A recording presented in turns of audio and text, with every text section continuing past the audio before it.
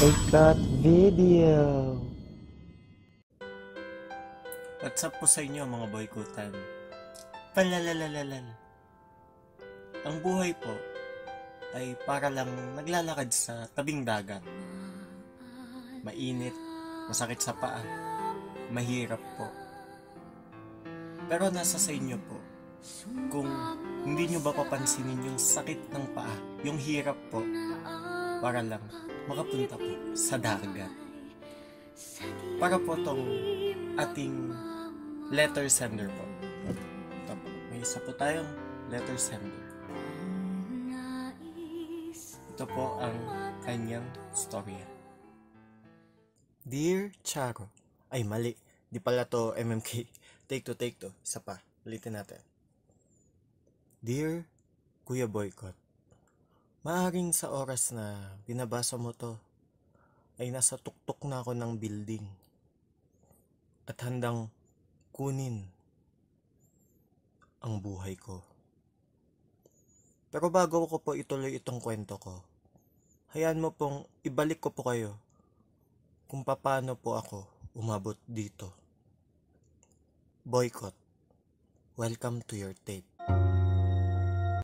Ay, letter nga pala. Sorry na. I-start na natin yung ano. Yung ano, okay. Black and white. Okay. Tara na doon. May depression po ako, Kuya Boycott. Yung tipong hindi ko na mahanap ang purpose sa buhay ko. Kaya naisipan ko pong mag-send po ng letter para maging isang huling habilin sa lahat ng nagmamahal sa akin. Pumunta ako sa terrace. Nakatulala po sa malayo. At dito ko po naisip na tatalon na ako. Dahil po wala na ang aking YouTube partnership program. Ano? Dahil dito, papakamatay ka na? Opo. Bobo ka ba? Wala, wala na po kasi yung nakukuha ng pera. No, so wala na pong benefits sa YouTube. Alis ka na nga dyan at i-build mo muna audience mo. Tanga-tanga. Sige, sige po, sige po.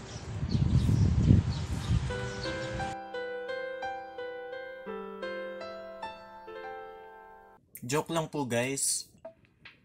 Ah, alam kong hindi maganda pong joke ang pagpapakamatay. Baka mamaya kasi ma-logan po ako kaya sorry po guys sa mga hindi po nagustuhan yan. Sa lahat po ng mga gusto pong magpakamatay, mali po yan. Huwag niyo pong gagawin. Okay po. So, ngayon po, ah, bakit ko po ginawa itong video na to? Seryoso po na wala na po ako sa YouTube Partnership Program. Kuya Boycott, Boycott, di ba umabot ka na sa ano, 1,000 subscribers? Yes po, umabot na po tayo sa 1,000 subscribers. And then yung watch time kasi. Akala ko minutes. 4,000 minutes ang kailangan for the past 12 months. Akala ko lang. Hours po pala. 4,000 hours po ang requirement ngayon na na-meet mo.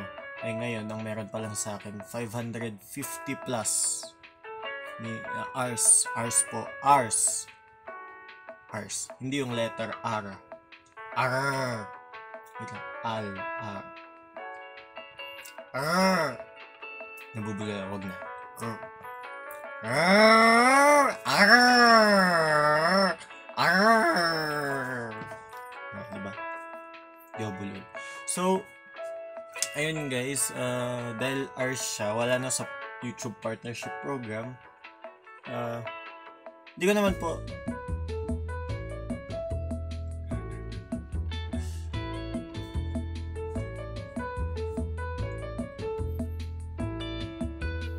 So yes guys, wala na ako sa YouTube partnership program. Ah, kung nagtataka po kayo, ano po yun? Ano po yun? Diyan po nagkakapera po ang inyong mga YouTubers.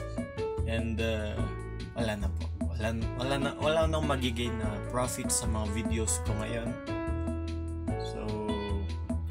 Most people guys na nagrereklamo po about dito pero actually guys isa ako dun sa mga taong yon nung una pero nung inintindi ko nung inisip ko maigi actually tama lang po guys. Bakit po kasi? Kasi we should build our audience muna habang maliit pa lang tayo.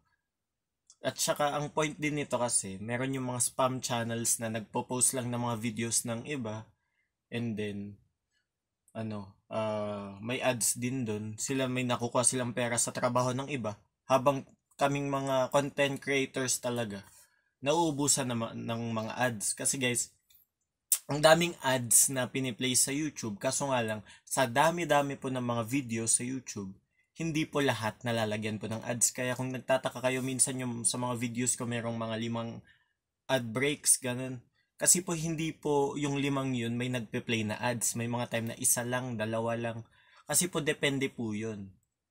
Kung for example, Jollibee, ganun. Alam kong meron yun, meron at meron yun dito kasi from Philippines, yung uh, taga Pilipinas ako. So, saan sila maglalagay ng ads nun? Sa mga ano, Filipino channels. Diba? So, ayun guys.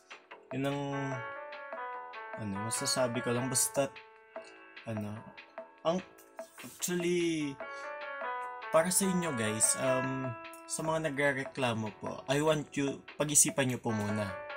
Isipin nyo po na maigi. Magkano po ba ang nakukuha ninyo? Profit ninyo for the month? Ako, I'll be honest. Parang yung sa December ko, umabot sa $3 kasi ang daming ads kapag December. O, tapos ngayon, this month I only have $1 for the whole month. For the whole month po. $1 point blah blah blah blah blah. Pero sa AdSense, di mo kasi ma kukuha yung pera mo until ma-meet mo yung $100. So in other words, wala ka din lang nakukuha pero kapag na-meet mo na tong ano na to, na-build mo na yung audience mo, na-meet mo na tong 4,000 hours within the past 12 months kasi kailangan consistent ka dun eh na may 4,000 hours ka. Diba? So, bali, ang mangyayari naman dyan, guys, um, mangyayari naman dyan, hindi na $1 per month, hindi na $3 per month ang makukuha ninyo talagang mamimit nyo kagad yung $100 dun sa AdSense para makapag-withdraw kagad kayo. For example, sa first month niyo kapag umabot na kayo dun sa milestone na yun, pwede ka agad kayo makaabot ng $50. Malaki na po yun, guys. So, kung isipin nyo din na maigi, actually may point din po sila. Okay din yung ginagawa nila kasi tayo, may, may nagigain nga tayo, pero guys, ang liit po. So, kung ang nagtataka naman kayo, at least sana naman may nakukuha tayong pera habang nagbibuild tayo ng audience.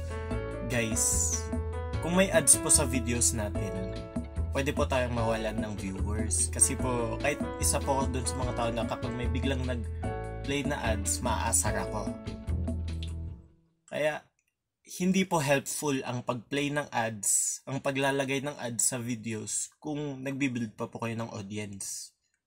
Kaya, yun lang po. Yun yung what I think. What I think. For me guys, nasa nasa sa inyo po kung nagustuhan nyo ba tong bago po sa YouTube partnership program or hindi po.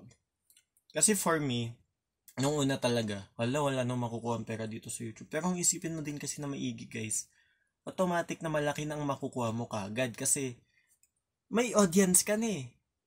Na-build mo na from the past 12 months. Ganun. And then, dapat consistent ka. So, mi ang instead ng minimum na nakukuha mong pera sa YouTube is mga 0.5 or 0.2 depende sa viewers mo. Oh, kung pwedeng maging minimum na ng salary mo per month, ano na, $25 per month or 30. Oh, kasi nakabuild na po kayo ng audience. Diba? So, that's what I think, guys. Uh, nasa sa inyo po kung makikinig kayo sa akin or what. Kaya, so that ends our video guys. If you have any suggestions, just comment. Hashtag boycott and space your suggestions. Like this video guys, share, click that subscribe button and that ring button. Follow me in all of my social medias. By the way guys, kung gusto nyo po ulit mag-intro po sa video ko, isa nyo lang po sa akin, via Gmail ko, carl1462tolentino at gmail.com or isend nyo na lang po sa Facebook ko or sa Messenger or comment nyo lang po down below yung mga links po ng mga videos po ninyo doing the intro. So that ends our video guys. Eh...